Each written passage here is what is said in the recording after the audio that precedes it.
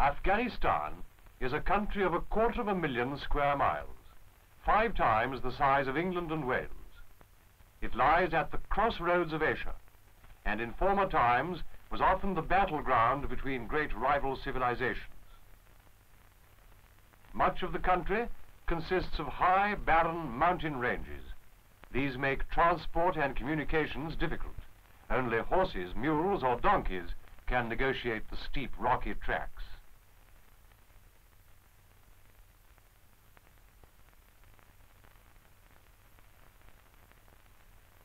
The Afghans are great horsemen.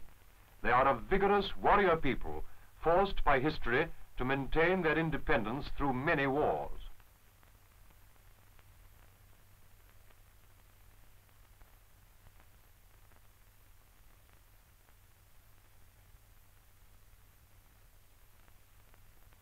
Great fortress towns, long since in decay, used to guard the passes through the mountains. These mountains, though outwardly barren, are rich in mineral wealth, still largely untapped. For centuries, rock salt has been mined here. It is slow, laborious work, great slabs of salt having to be chipped out slowly by hand from the solid rock floor.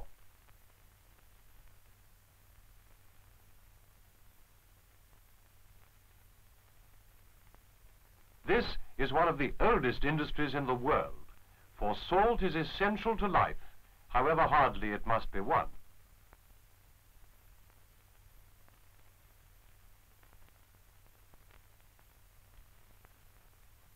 And the mining is by no means the end of the labor.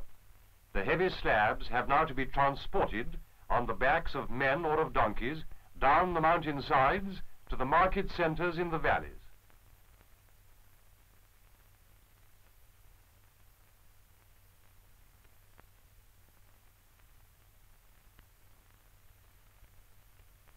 Coal is another traditional mining industry.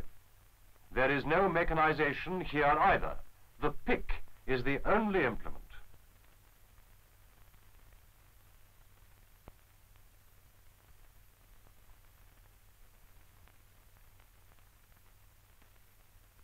Again, transport is a major problem.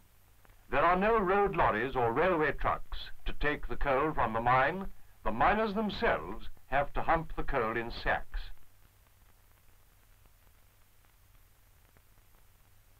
Between the mountain ranges lie wide desert plains. Here pastoral nomads dwell, making their temporary encampments with their caravans of camels and their herds of sheep.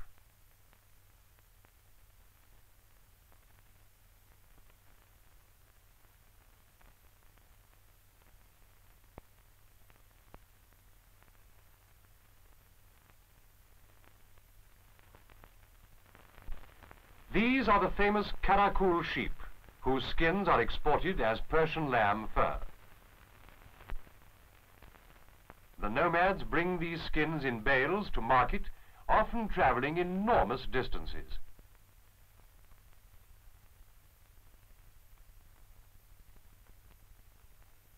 Besides the mountains and the desert plains, there are many fertile valleys watered by great rivers like the Oxus. Here, transport and communications are easier. But light winter rainfall, coupled with hot, dry summers, make farming precarious. Also, frequent wars and invasions have kept the country poor and backward, and tools and methods have remained primitive, so that production is low.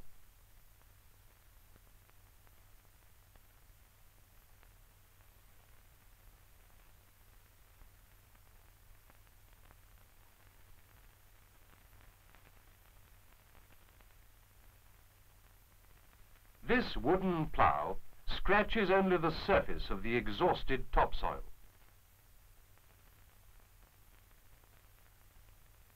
The scanty corn crops are threshed in the age-old way by oxen tramping out the grain, and winnowing is done by the ancient hand flail. With the help of irrigation, two crops a year can be grown on the same land, rice and millet succeeding wheat and barley. This is a rice mill.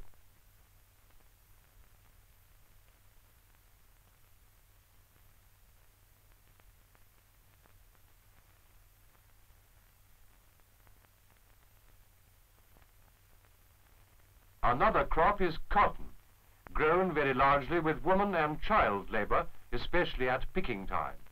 All this work is done by hand.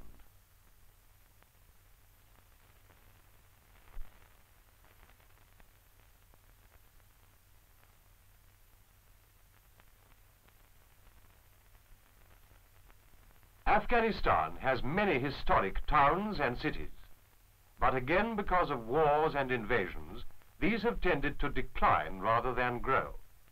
This market town is such as Marco Polo would have known. It has changed little in seven centuries.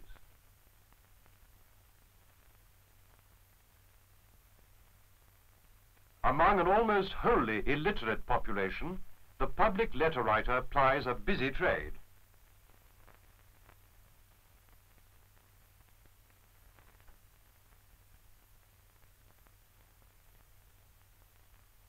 In the bazaars, the age-long chaffering of the East goes on.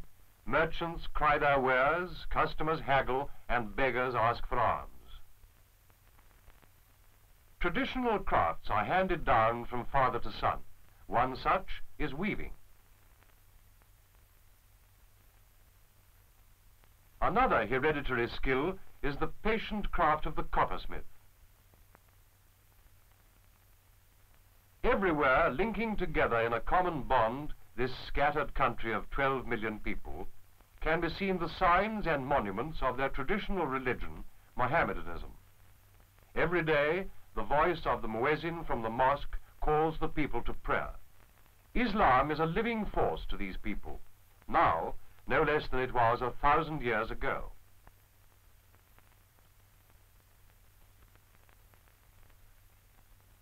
Such has been and still is the way of life in Afghanistan. But in 1950, the Afghan government asked for and obtained international help in developing and modernizing their country. The results are already apparent. Women still walk veiled in the streets, but in the new schools, a new literate generation is getting an education that includes balanced nutrition and regular medical attention.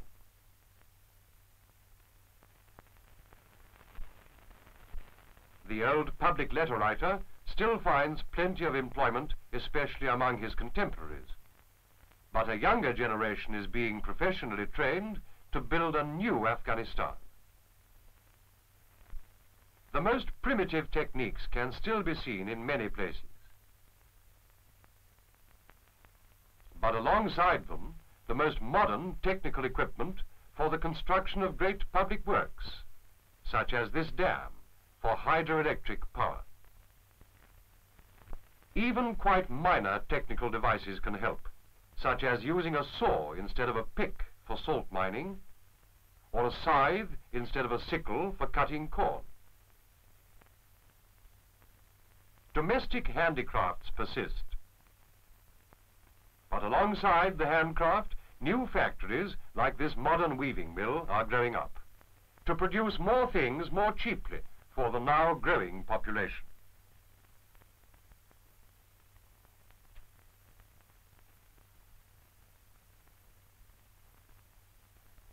By-industries are being developed from what were once waste products.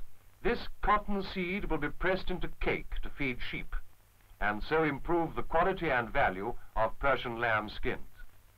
As these are a major export for Afghanistan, the increased revenue helps to pay for the many things the country needs from abroad to further the task of modernization.